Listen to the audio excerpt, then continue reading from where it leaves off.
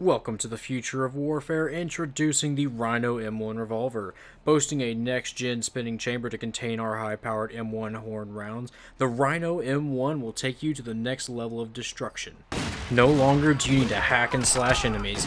Don't just blow away the competition, annihilate them. Guaranteed to take no more than 3 shots per enemy.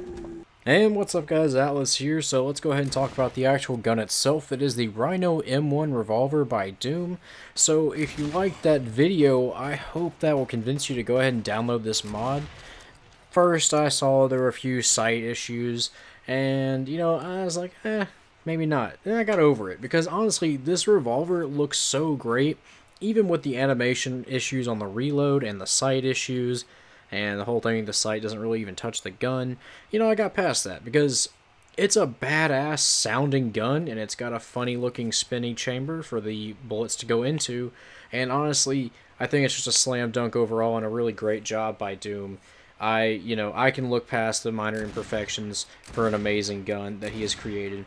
It's got massive power, and I like that a gun finally has a little bit more creative clip size. You know, you get your 20, 40s, and 60s. This gun actually has three, and I think it's the first gun we've actually seen with a, you know, real creative clip size. I mean, I wouldn't really call it creative, I guess, but different from the norm that we're currently used to. Anyway, great job, Doom.